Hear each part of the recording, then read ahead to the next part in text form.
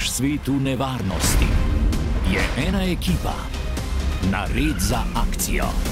Je rekel malica? E, ne, rekel sem akcija.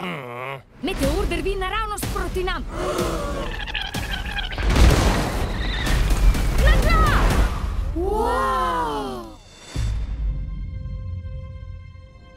Nekakšno energijo oddaja. Nisem bila jaz. Ta oktober Mislim, da imamo super moči. In prav zato nosim svojo čelado. Že čutim fino, super brzino. Rušilna krogle sem. Teskajmo! Glej svoje tačke. Krasno, zdaj pa ta pas je štor strela ognjene krogle iz tačk.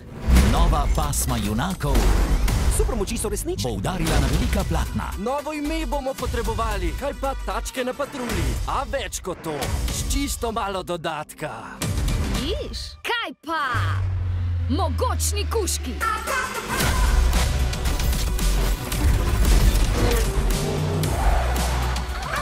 Te super moči pripadajo meni. Nekaj žgočega gre. Pobrala bom vse enega za drugim.